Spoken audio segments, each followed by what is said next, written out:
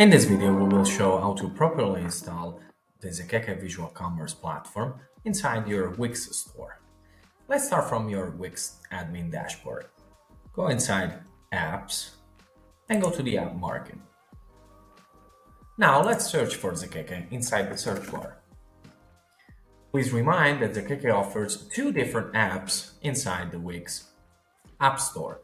One the first one is the Zakeke Visual Product Customizer that enables you to empower your customers with visual product customization in 2D, 3D, and AR.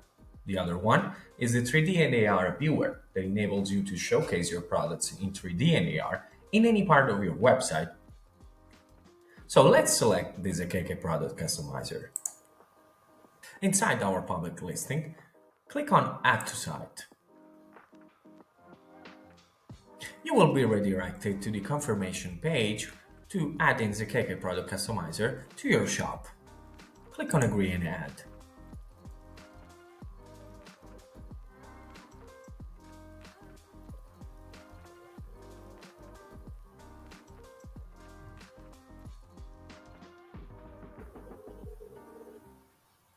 And there you go, you have an active 14 day free trial to use the visual customizer on your web store based on Wix.